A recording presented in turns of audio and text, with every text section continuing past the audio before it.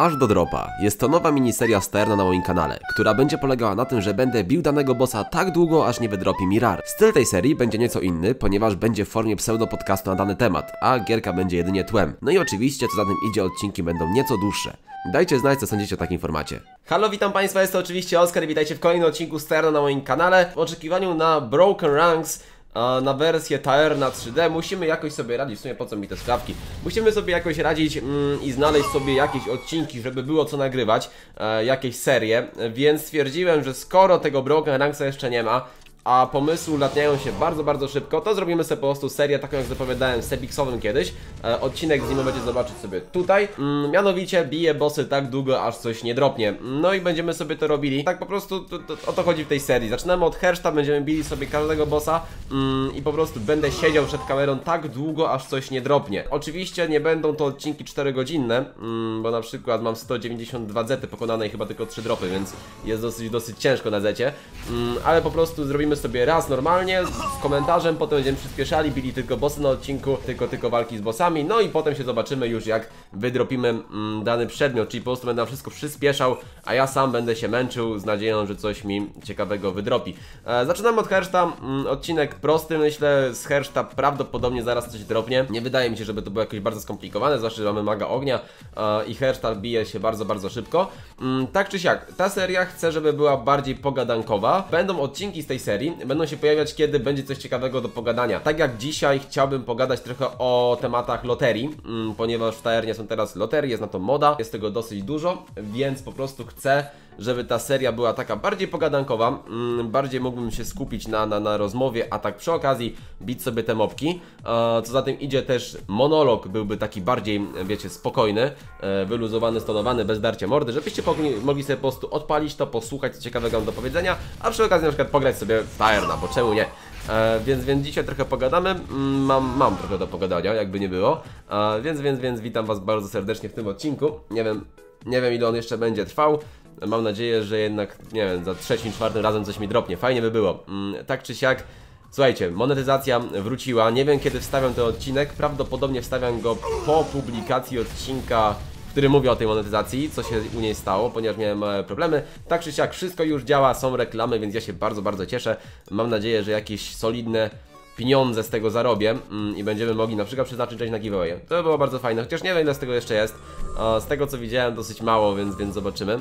Tak czy siak dalej się jaram i zmierzam do tego, że dalej mam ochotę bardzo e, dla Was nagrywać. Przygotowałem sobie w ogóle picie, a dokładnie stało ono na biurku, jest to czarna woda i w ogóle odpalę full ekran, bo nie było full ekranu włączonego. I ra ra ra ra. Dobra kochani, już Wam ściszam dźwięk, bo widzę, że jest solidnie za głośno. Zaraz ogarniemy to tak, żeby nie był solidnie za głośno. Dobra kochani, widzimy się po raz drugi. Na szczęście nie muszę tego nagrywać od nowa. Miałem mały fail, bo nie zmieniłem ścieżek dźwiękowych i wszystko nagrywało się na jednej. Za tym idzie, nie mogę na przykład ściszyć wam gry mm, w montażu, ale mniej więcej ja, tam jakość głosu moja i głośność dźwięku była w porządku, więc nie musiałem za bardzo jej zmieniać. Nie muszę tego nagrać od początku. Bardzo fajnie, bo bym się zaczął gubić mm, i bym nie wiedział, co mówiłem, a co nie. Tak czy siak, moi drodzy, w dzisiejszym odcinku, e, biciu sobie hersztów, chciałem poruszyć temat e, loterii, które są w Taernie. Mm, zapoczątkował je Galajus prawdopodobnie, chyba on był pomysłodawcą takim pierwszym. E, nie widziałem u nikogo wcześniej tego. Mm, no i trochę to ewoluowało w takim nieoczekiwanym kierunku, że każdy teraz zaczął się bawić e, w takie właśnie loterie, wszyscy youtuberzy odpowiadając na pytanie już na sam start, czy ja planuję zrobić jakąś loterię, e, nie wykluczam tego, ale aktualnie chyba nie, ponieważ jest zbyt duży hejt na to, mm, a ja bym nie chciał tutaj jakoś sobie stracić reputacji e, czy coś, więc, więc, więc ja raczej sobie odpuszczę, wolę dla Was po prostu rozdawać itemy. E, właśnie, dzisiaj środa, więc mogę wam szybko teraz przerwać. Po tej walce zobaczycie, co dzisiaj jest do wygrania, bo nawet nie wiem. A w tym tygodniu do zgarnięcia te super irkamale. Wystarczy, że napiszecie komentarz ze swoim nickiem.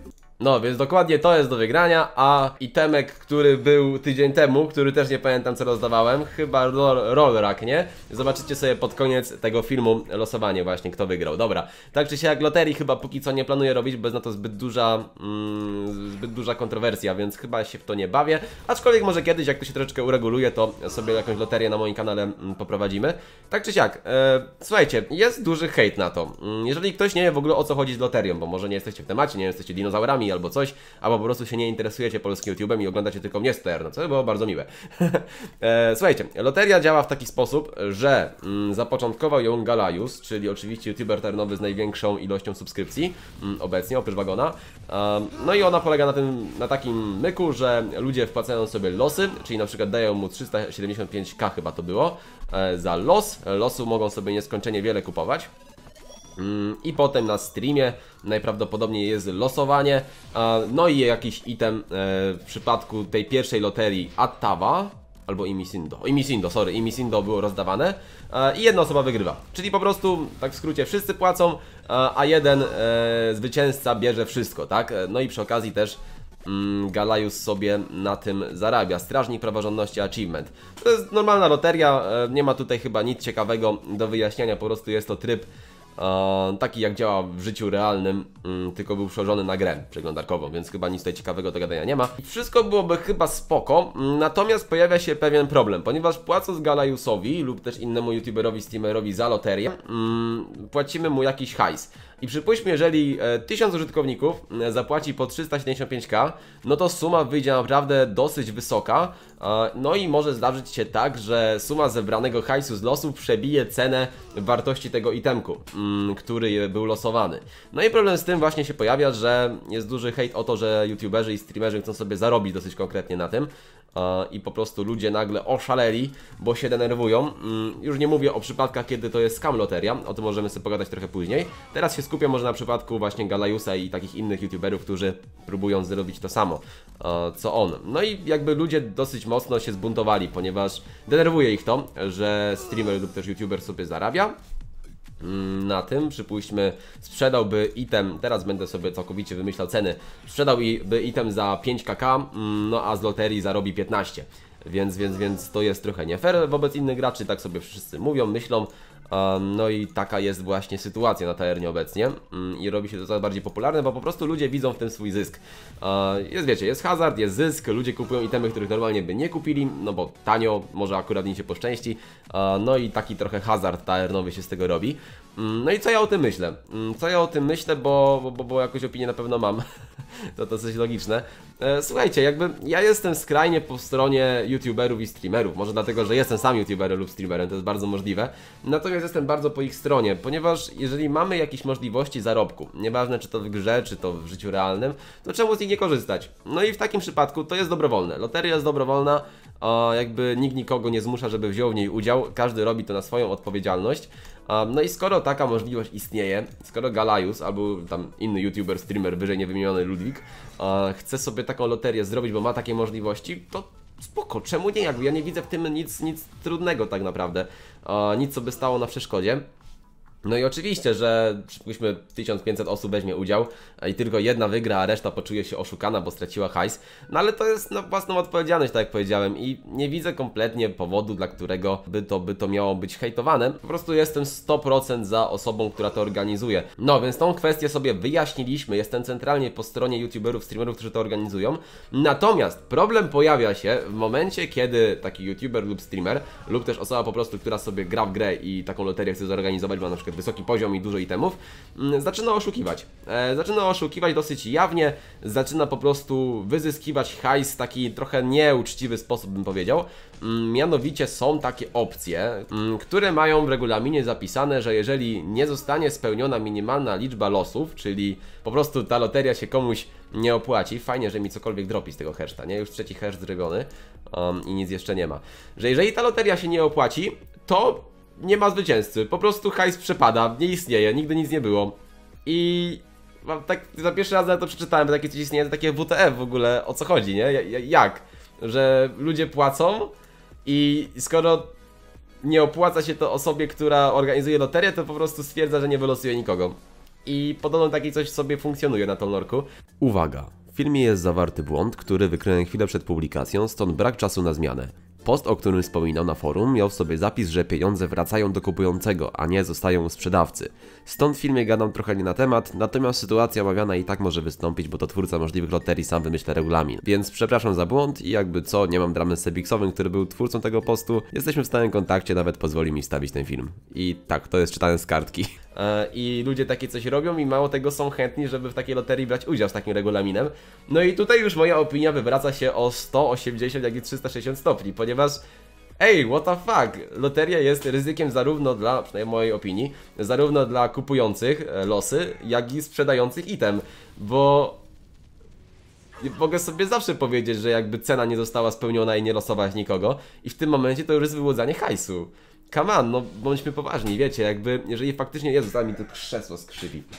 Jeżeli faktycznie jest taka kuriozalna sytuacja, że ja sobie pobieram od ludzi itemy, obiecuję im losowanie tego przedmiotu, mm, znaczy pobieram od ludzi hajs i obiecuję im losowanie przedmiotu i na końcu stwierdzam, że mi się to nie opłaca i tego jednak nie robię, no to hello, ja oddaję hajs tym ludziom, czy zachowuję dla siebie. Coś tu jest nie tak, halo, halo, przecież ja zawsze tak mogę stwierdzić tego itemu nie rozdać.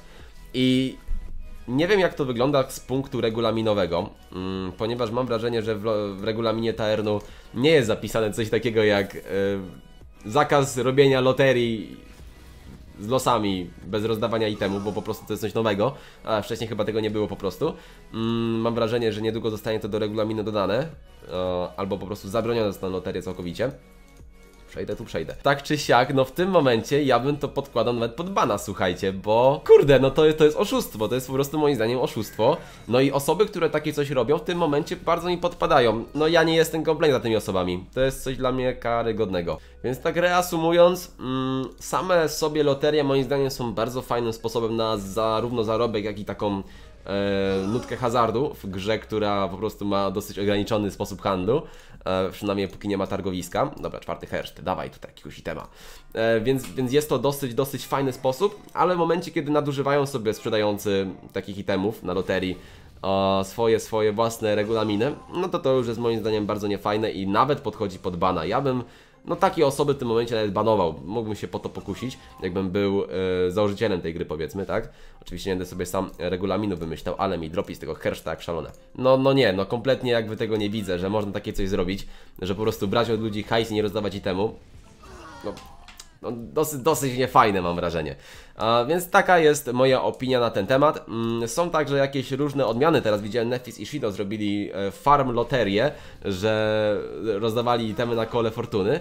Mm, to jest taka jakby odnoga tego, co zrobił Galajus tak naprawdę. No i to moim zdaniem też jest bardzo, bardzo fajne. Mm, oczywiście ludzie sobie mogą przepłacić dosyć konkretnie, przypuśćmy płacą tam chyba 500 kaza los było i dostają sobie, no nie wiem, zestaw reanimacyjny, tak? Chociaż tak w sumie teraz nie wiem po ile byśmy ten zestaw kupili, ale no 500 k raczej to nie będzie, e, więc no mogą ludzie na tym stracić, natomiast wszystko jest dobrowolne i wszystko jest dobrą zabawą i sam w sumie jakbym miał hajs, bo póki co mam 500k na tajernie, gdybym miał hajs, to sam z takiej loterii sobie z chęcią skorzystał, bo to jest fajna, fajna przede wszystkim zabawa, a dla osób, które taką loterię organizują, w tym przypadku Nefis i Shido, po prostu jest to fajna możliwość pozbycia się itemów, które były dropione, tak, bo oni sobie robią ten swój czas farmerów, jeżeli nie wiecie, i po prostu w ten sposób się tych itemków pozbywają, których potencjalnie by nie sprzedali. Mm, no i taka jest moja opinia, na tym zakończę. Często się pojawiały pytania na streamie i tak dalej i zawsze tak trochę tak zlewczo odpowiadałem, wiecie, raz, dwa odpowiedzieć i, i, i, zmienić temat, iść dalej, czytać inne komentarze. Natomiast stwierdziłem, że skoro zaczynamy sobie serię, w której mogę sobie pogadać trochę na tematy takie, nie że nudniejsze, tylko może tematy dłuższe, no to mogę tą loterię sobie poruszyć i trochę bardziej o tym pogadać. Zwłaszcza, że teraz na to hype, społeczności się dużo dzieje, ludzie o tym gadają. Też właśnie idąc dalej, jest duży hejt na Galajusa z tego co zauważyłem. W ogóle zabiję tego heszta z takich tych dwóch deszczy. Nie wiem. E, jest duży hejt na Galajusa z tego co zauważyłem, ponieważ e, on to zapoczątkował, ludzie mają do niego trochę żal, że zarabia na tym. Nie wiem dlaczego, nie rozumiem tego. Jak można mieć żal, że ktoś chce zarobić. Nie ma tutaj dropa niestety, kolejny jeden prestiż. Dobrze, że nie ma żadnego eku, które by mi się rozładowywało i mogę sobie tak chodzić do woli. Bardzo przyjemna odmiana, grał na mago ognia, żeby było szybciej. Um, więc tak to wyszło. E, chciałbym się jeszcze skupić na jednej rzeczy, ponieważ e, podczas dostawania Karatisa NU e, u Galajusa, nie było mnie wtedy akurat na jego streamie, bo rzadko oglądam, mm, doszło do sytuacji, że gościu się podszywał i tam miał Nick Galajus Leaf chyba i brał hajs od ludzi. Mm, no i nikt z ekipy nie, za, nie zareagował zbyt szybko. Kurde, jak mnie to krzesło denerwuje. O, jak ono skrzypi. Wsiadłem trochę inaczej, może teraz nie będzie tak skrzypić. Ono już jest stare, dobra, musicie mu wybaczyć. Mm, była taka sytuacja, że gości się podszył i zbierał sobie kupony. Po prostu. Zbierał sobie kupony od, yy, od widzów Galajusa. No i po prostu widzowie byli w ten sposób oskamowani, ponieważ oni tracili hajs, nie brali udziału w loterii, a no po prostu osoba, która oszukiwała nie była podatna na bana w tym momencie, ponieważ ekipa nie reagowała. To była taka sytuacja dosyć niefajna. Oczywiście ludzie szybko wykorzystali e, opcję loterii, żeby się sami dorobić z kamerzy oszuści. Pytanie, co z tym gościem się stało, bo powiem wam szczerze, jestem teraz e, w niedzielę, kiedy to nagrywam mm, i nie wiem, czy ten gościu został już ukarany. Prawdopodobnie dostał bana, tak mi się wydaje, bo to jest wyłudzanie hajsu, mm, podszywanie się przede wszystkim pod innego gracza, e, więc chyba bana dostał, tak bym przynajmniej twierdził. Jeżeli nie dostał, no to to jest moim zdaniem karygodne po raz kolejny zachowanie. Więc myślę, że bana dostał, trzymajmy się tej wersji, mam nadzieję, że tego bana otrzymał. No problem z tym, że po ptokach, ludzie, którzy wydali hajs, ten hajs stracili, no i wina jakby gdzieś tam, mam wrażenie, spadła na Galajusa, tak ciosem ciosem dwusiecznym, że gościu oszukiwał, a Galajos dostał po łbie za to, brzydko mówiąc. To jest kolejny przykład tego, jak ciężko cokolwiek w TR fajnego zrobić, mam wrażenie, ponieważ no Galajos ok, chciał zarobić, zrobił wszystko legitnie, jakby przedstawił zasady, wyjaśnił wszystko tak dalej. Ktoś się za niego podszył i teraz on za to dosyć konkretnie obrywa i jest hejtowany w społeczeństwie graczy. Um, I ludzie czują się oszukani przez niego tak naprawdę, a nie przez osobę, która się pod niego podszywała. Więc herszt kolejny bity i dawaj itemy. Kurde, dawać mi dropa, bo już mi się temat kończy do gadania. Tak staram się gadać, 15 minut już pierdzielę o tych loteriach i mamy, miałem nadzieję, że jak skończę temat, to idealnie mi dropi, żeby nie musiał tej dłużej siedzieć, ale chyba będę musiał te majaroty dalej dropić przez jakieś dwie godziny kolejne. No więc słuchajcie, tak to wygląda. Jakby chciałem, chciałem się wypowiedzieć na temat tej loterii, ty, tych, tych loterii w TR, jak one wyglądają, jak one funkcjonują, co o nich sądzę. Mam wrażenie, że trochę mogłem zanudzić was tym monologiem, będzie napisać, czy, czy, czy wam się podobał ten monolog mój, bo powiem wam szczerze, że starałem się gadać, tak wiecie, bez podnoszenia głosu, sympatyczny monolog do bicia jakiegoś tam szybkiego zeta, nie? Czy coś e, ze mną w tle, bo tutaj tak naprawdę no zakładam, że 89% oglądających nie widzi ekranu, teraz tylko mnie słucha, bo to jest taki trochę podcast e, w tym momencie. O, tak mogę nazwać tę serię, podcast, Taren Podcast, to by było dobre. Może jeszcze to przekminie. No tak czy siak, napiszcie co sądzicie o takim monologu, bo starałem się po prostu mówić płynnie, wyraźnie, bez, bez jakichś tutaj podnoszeń głosu, zniekształceń typu Halo, witam Państwa, jest bomba, wiecie i tak dalej, nie?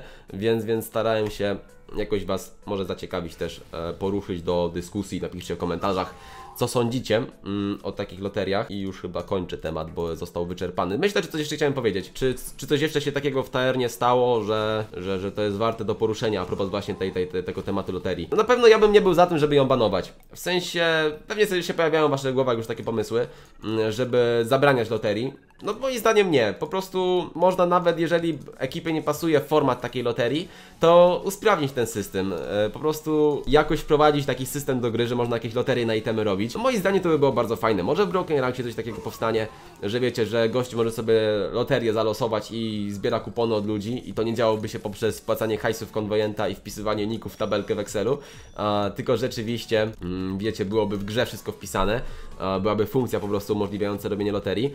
Ja bym poszedł w tym kierunku, na miejscu oczywiście ekipy, nie wypowiadam się w ten temat, bo nie jestem ekipie Taerna, ale ja bym to tak zrobił, że wolałbym ochronić graczy przed potencjalnym oszustwem i ulepszyć pomysł, e, który się pojawił, niż kasować go całkowicie, bo, bo, bo to by było moim zdaniem usuwanie problemu w dosyć taki chamski sposób, więc nie byłbym za banowaniem takich loterii, mimo że są dosyć kontrowersyjne i ja bym sobie z chęcią takie loterie zostawił, a nawet sam se kiedyś zrobił, ale to dalekiej przyszłości. Kurde, dropnijcie mi coś, jakiś item z tego herszta. O, będę musiał zaraz poza kamerą lecieć, ale mi się nie chce. Ale mi się nie chce tu siedzieć, bo wiecie, bo to nie jest boss, którego dropią item najwyższej klasy. To jest taka straszna strata czasu. Mam nadzieję, że później w tej serii będzie trochę lepiej, jak będę sobie jakieś zety bił czy coś. To jest w ogóle, w ogóle fajny pretekst, żeby sobie pobić zwykłe bossy na terenie na odcinku bez żadnego kombinowania i do was pogadać, bo będę je bił po prostu tak długo, aż coś nie dropnie, czyli odcinki będą się rzadko pojawiały.